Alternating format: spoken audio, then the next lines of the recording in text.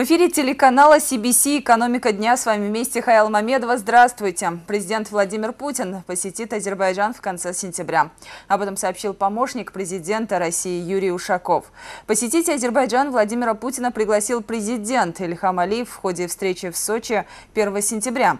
Планируется, что российский лидер прибудет в Баку 25 сентября.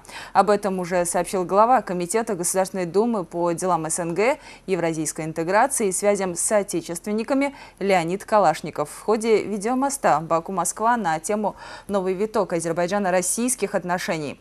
По его словам, в Баку лидеры двух стран проведут рабочую встречу, которая будет шлифовать те вопросы, о которых стороны договорились или не договорили в ходе переговоров 1 сентября в Сочи.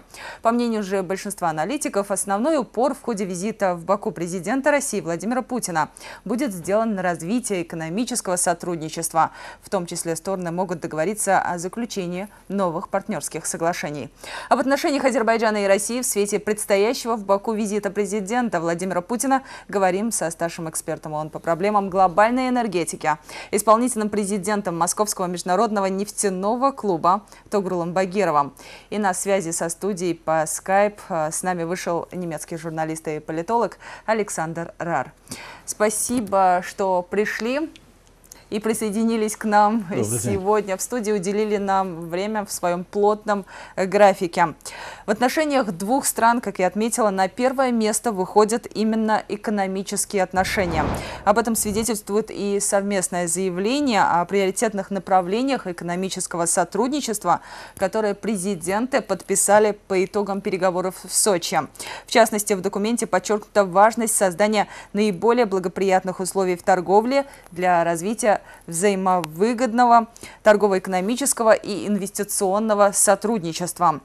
Это еще не весь перечень. План экономического сотрудничества охватывает период вплоть до 2024 года. Почему Азербайджан и Россия делают основной упор на экономическое сотрудничество, активизируют и совершенствуют торговые связи? Интересы России и Азербайджана совпадают и во многом коррелируются не только вот э, в области как бы э, сотрудничества в Каспийском регионе, в региональных, э, по региональным вопросам, но также по общемировым, в частности в области энергетики. Ну, будучи как бы человеком, который занимается больше энергетикой, нефтью и газом, хотел бы я сказать, что как раз сотрудничество в области нефти и газа – становится достаточно таким краеугольным в отношениях между Россией и Азербайджаном. Вы знаете, 1 сентября было подписано соглашение с Роснефтью. А, и это, кстати, не первое соглашение. Мы знаем о том, что Лукойл достаточно активно присутствует на азербайджанском рынке и был подписантом соглашения, которое завтра все в Баку будут отмечать это годовщина так называемого контракта, контракта века. века.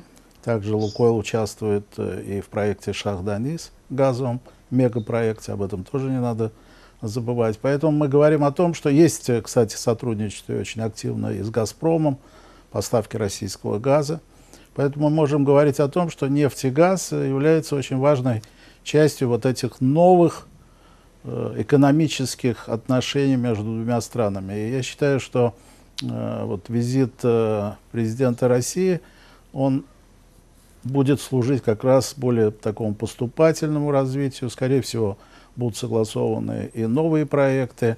И все это будет говорить о том, что и Азербайджан, и Россия выступают за тесное стратегическое э, сотрудничество, сотрудничество, которое соответствует интересам, национальным интересам двух стран. Спасибо, господин Багиров. Александр Глебович. Мы видим, что Россия работает э, и будет дальше продолжать тесно сотрудничать с, Ираном, несмотря на то, что Иран сейчас попадает под санкции. Очень интересное развитие сейчас наблюдается между Россией и Турцией. Турция сейчас медленно э, поворачивается в сторону от НАТО и Европейского Союза к более тесному сотрудничеству с Российской Федерацией по, по ряду вопросов. Она не становится союзником России, она начинает близко сотрудничать с Россией. И тут создается, вот, э, как я сказал, новые предпосылки для совсем э, новых э, проектов и нового сотрудничества.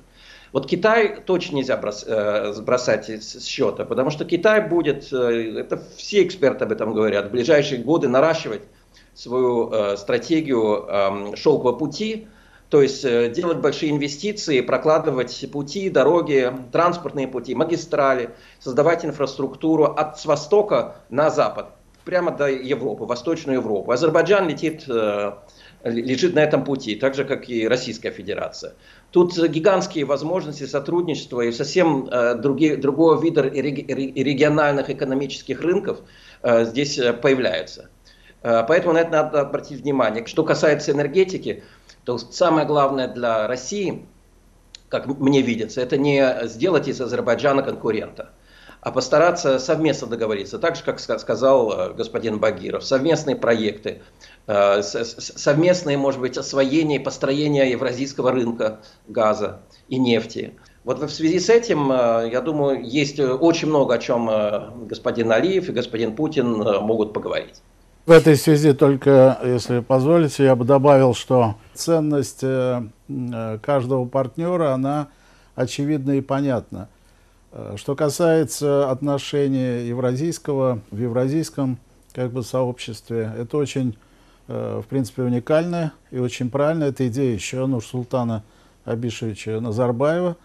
Поэтому мы говорим о том, что, в принципе, развитие по всем азимутам. И недавно, по-моему, было озвучено решение о том, чтобы Азербайджан стал наблюдателем при Шанхайской организации. Шост, Это как да. раз движение том направлении. А что касается вот этого нового шелкового пути, One Way, One Road, One Belt, one это китайской программы, то она как раз проходит через Казахстан, Азербайджан, далее Грузию и так далее. И также проходит через э, север-юг, это Россия, Азербайджан и Иран. Поэтому совершенно справедливо, что транспортные проекты, они будут также играть очень существенную роль вот в таком поступательном развитии отношений между двумя странами. Вот как раз сейчас, э, говоря о транспортных проектах э, международных, предлагаю послушать небольшую часть заявления э, президента России Владимира Путина по итогам встречи с президентом Азербайджана Ильхам Алиевым. И Владимир Путин назвал наиболее перспективный, один из наиболее перспективных проектов между Азербайджаном и Россией сегодня, именно международный транспортный коридор север-юг. Одним из наиболее перспективных проектов считаем создание международного транспортного коридора север-юг, который соединит западноевропейские рынки с азиатскими производителями, позволит значительно ускорить грузоперевозки из Южной Азии и Ближнего Востока через Иран в Европу. Общая протяженность этой артерии составит более 7 тысяч километров. Она будет включать в себя железнодорожное, паромное и автомобильное сообщение.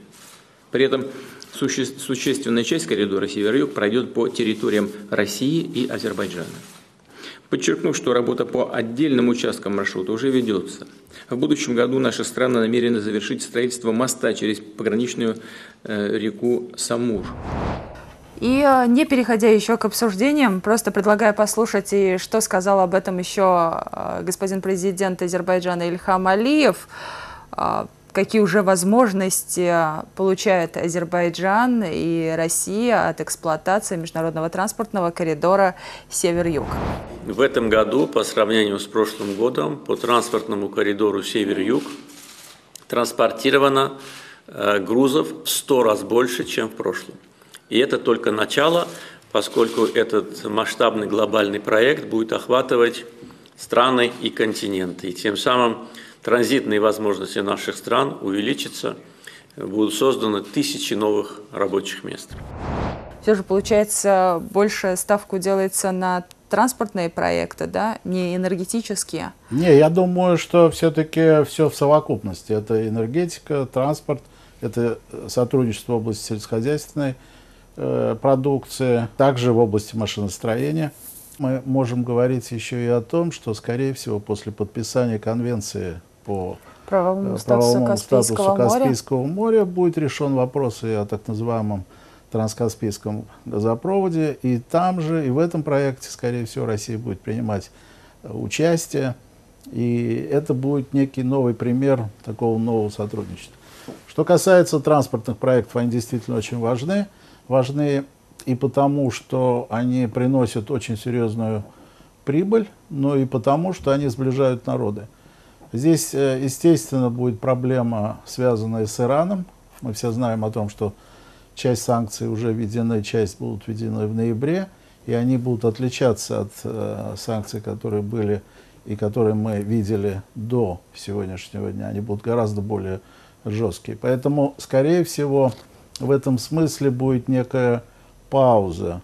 Но эта пауза не говорит о том, что в стратегическом э, плане эти проекты не будут развиваться. Поэтому, когда уважаемые президенты говорили в Сочи, они имели в виду прежде всего развитие э, транспортных проектов по многим направлениям. Север-юг, восток-запад, либо запад-восток. И в этом смысле обе страны могут э, активно сотрудничать. Например, я знаю, что российские железные дороги активно сейчас сотрудничают с азербайджанскими железными дорогами.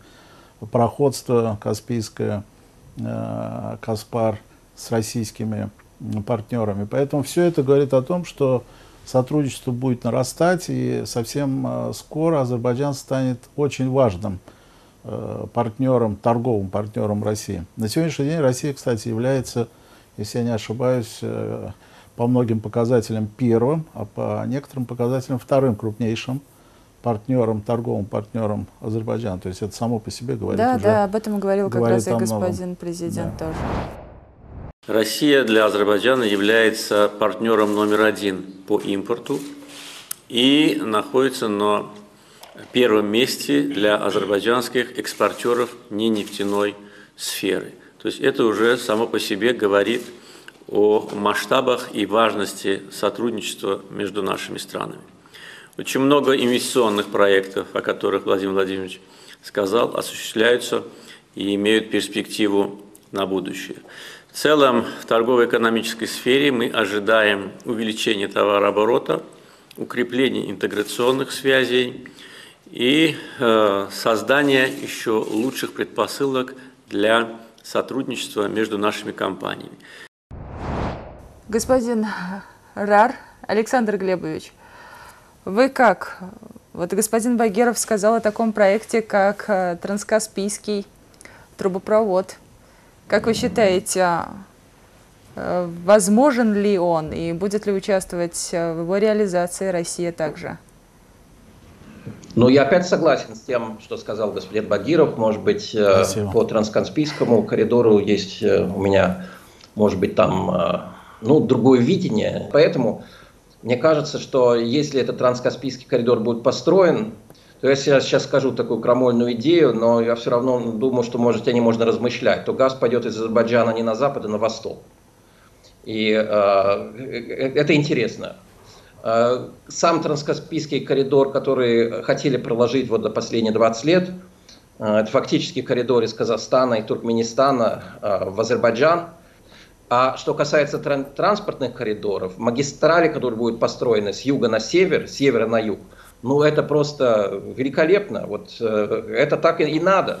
Если есть деньги для того, чтобы вкладывать э, средства в эту инфраструктуру, то это выиграют все. В первую очередь, конечно, простые люди, которые будут получать э, работу. Инфраструктура будет создана там в деревнях, в городах Э, на трассе будут созданы э, всякие сервисные станции, будет, э, рынки будут развиваться. И почему вот инициативу построения вот этих коридоров из Азии в Европу нужно возлагать на, на них на китайцев, которые действительно успешно будут строить, я уверяю, и вы, наверное, с этим согласны, свой шелковый путь из, с востока на запад. Я напомню, что президент России планируется, что приедет в Баку 25 сентября. Спустя два дня в Баку намечено проведение девятого заседания Российско-Азербайджанского межрегионального форума по экономическим вопросам. В частности, да, вот контакты, они участились. Помимо этого в повестку включена также возможность проведения до конца года трехсторонней встречи уже в России между президентами а, Азербайджана, а, России и Ирана. То, что трехсторонний формат был создан еще а, в Баку. С этой точки зрения, вот, как вы думаете, вот то, что участились все эти а, регулярные встречи, регулярные визиты, что можно сказать об отношениях двух стран? Ну, это, собственно, и подтверждает э, то, что мы уже сказали, что отношениям э, придают э, очень такое большое значение, причем э, личностные отношения.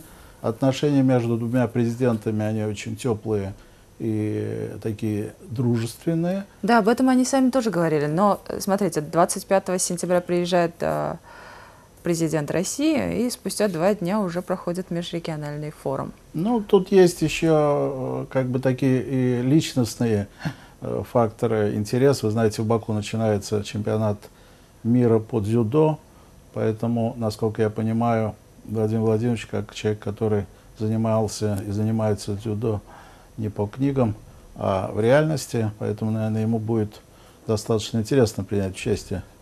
И я так понимаю, это будет некое совпадение. Тем не менее, вот эта частота этих встреч, она как бы свидетельствует о том, что действительно отношениям придают большое значение. Э, эти отношения хотят э, действительно э, вывести на такой подлинно и реально стратегический уровень. И, наконец, третье, сделать эти отношения и сотрудничество необратимым по многим аспектам. И в этом смысле, я так понимаю, что и Азербайджан, и, естественно, естественно, Азербайджан и Россия, они только выигрывают, потому что отношения этих двух стран, они уходят глубоко и далеко в века. Это многовековые отношения двух народов, которые проживали в этом пространстве сотни лет. Э, очень правильное замечание, которое сделал господин Рар, когда заметил, что и отношения с Турцией у России развиваются очень динамично. Поэтому мы можем, кстати, говорить о том, что, наконец, э, э, после многих лет и многих десятилетий определенных дискуссий, вот это так называемое славяно-тюркское начало начинает э, проглядываться. Я не хочу забегать вперед, тем не менее, хочу сказать, что мы с, действительно с большой надеждой должны смотреть в будущее и видеть вот эти отношения как э, эталон и образец добрососедства, сотрудничества и партнерства. Вы знаете, экономика превыше э, и как бы во главе всего после того, как вот эти отношения экономически достигнут э, такого серьезного э, развития, легче будет решать и другие вопросы, в том числе и политические, и геополитические. Поэтому э, я считаю, что развивая экономические отношения, экономическое сотрудничество, проводя вот эти так называемые межрегиональные форумы, э, все это как раз идет в копилку тех новых отношений, которые можно и нужно строить вот сегодня, в 21 веке, когда цифровая экономика как бы диктует. Вы знаете, мы находимся сейчас во власти цифровой экономики. А раз так, то лидеры двух стран, они задают тон и задают так называемые параметры и масштабы сотрудничества. И вот все, что сейчас и после 25-го будет происходить, это как раз наполнение вот этих рамок сотрудничества реальными проектами. Поэтому э, можно говорить о том, что э, как бы движение вперед достаточно такое динамичное, э, поступательное, и все это внушает большой оптимизм. Александр Глебович, что можете сказать о частоте встреч и сверки часов э, лидеров двух стран, Азербайджана и России? Те же самые вопросы, которые сейчас успешно, очень успешно решает Азербайджан со своими соседями, э, придется и этим странам э, решить. Иного пути, мне кажется, нет. А что касается организации, платформ, в которых все мы будем работать, мы об этом говорили в начале – вы, по-моему, даже сказали, что э, не исключено, что Азербайджан когда-то станет э, наблюдателем в большой, этой крупной азиатской организации, да. которая, я думаю, сейчас уже определяет судьбу мира. Хотя над ней еще несколько месяцев или лет тому назад посмеивались. Это Шанхайская организация сотрудничества. Потом, э, все-таки как-никак, мы видим, что серьезно. Я не знаю, какие закрытые договоренности сейчас были подписаны между Пекином и Москвой, но я уверен, что вопрос сейчас главный, который обсуждает Путин и Кси, это вопрос ухода от доллара и конец долларизации мировой экономики. Господин Багеров, э, вот что вы думаете о том, что говорит, и в последнее время эта тема очень актуальна стала, да, и даже была одной из тем наших э, недавних выпусков э, программы «Экономика дня». Может ли Азербайджан вслед за соседями отказаться от доллара США? Ну, я так считаю, я, конечно, не экономист в таком чистом виде. Поэтому я не думаю, что нам удастся как бы отказаться, ну не нам конкретно, а странам отказаться от доллара вообще, потому что, ну в частности, допустим, нефть и газ, они номинированы в долларах. И даже европейские страны тратят почти 400 миллиардов евро, покупая нефть и газ, да, причем это не американский газ и не американская нефть. Поэтому, скорее всего, это такая стратегическая идея. Но то, что сейчас происходит, действительно взлом международных э, торговых отношений, взлом э, договоренностей и соглашений, которые есть, взлом э, Всемирной торговой организации. Все это действительно толкает такие новых гигантов, новых э, тигров как бы экономических нашего мира, как Китай и Россию, к тому, чтобы начать думать и реализовывать так называемый план «Б». А план «Б» заключается в постепенном отказе от доллара.